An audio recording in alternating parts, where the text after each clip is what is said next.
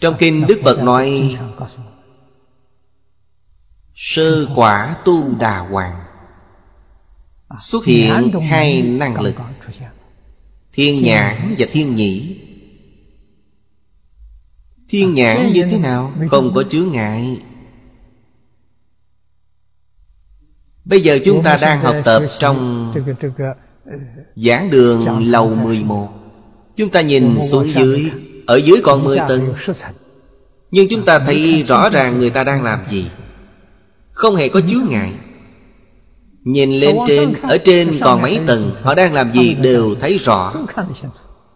Không có chướng ngại. Nhìn một người giống như chụp x-quang vậy, Thấy rõ lục phủ ngũ tạng của họ, Đều nhìn thấy. Tu Đà Hoàng có năng lực này.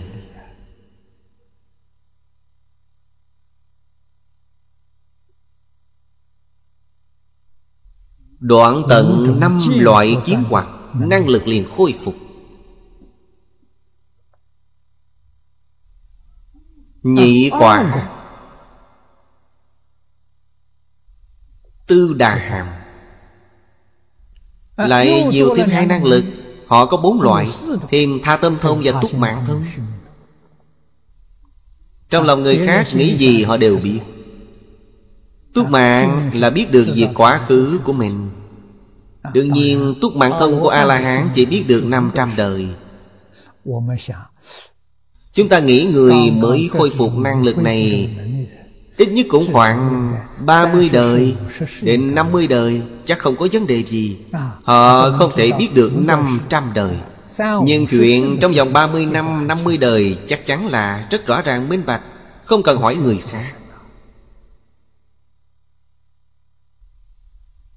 Lúc này những gì Đức Phật dạy Ta tin thật Không chút hoài nghi.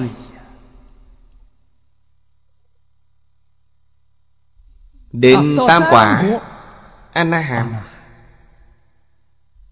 Thần túc thông xuất hiện. Thần túc thông là có thể biến hóa Có thể phân thân. Thánh nhân quả thứ ba Ra đi không cần phương tiện giao thông Họ có thần lực. Họ muốn đi đâu Thân thể liền đến đó Liền đến nơi họ muốn. Không cần phương tiện giao thông.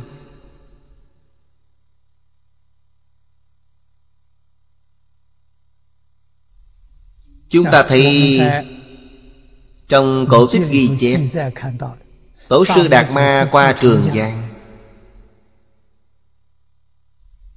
Cầm một cành cây bên bờ sông Ngài đạp lên cành cây này liền qua sông.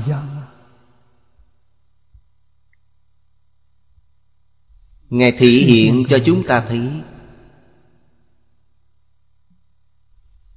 Không dùng cành cây Ngài cũng có thể qua sông. Ngài không cần dùng đến những công cụ như thuyền bè Vậy thần thông của tứ quả A-la-hán chắc là siêu tuyệt Là viên mạc Càng lên cao Năng lực này càng thù thắng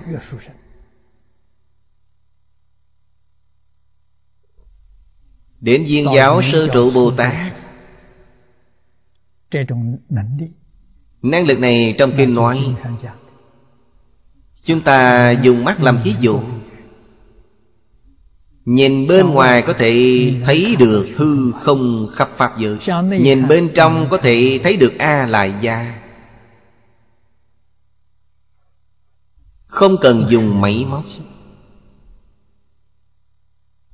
Đã khôi phục bản năng.